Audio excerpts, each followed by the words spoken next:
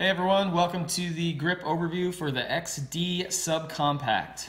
Um, as normal, we go high up on the thumb rest area here um, to give you guys maximum coverage as far as we can go. We left the logo cutout uh, in the bottom here for alignment reasons. Also looks pretty cool.